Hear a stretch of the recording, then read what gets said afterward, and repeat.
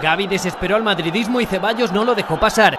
Tirón de pelo al que el culé reacciona con un empujón primero, advirtiéndole de la tarjeta después y dedicándole lo que parece el típico gesto de eres un llorón. Koundé trata de sacarlo del lío, pero aparecen Vinicius y su dedo acusador.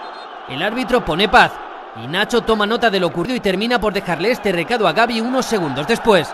Está perfecto, juega al fútbol, ¿vale?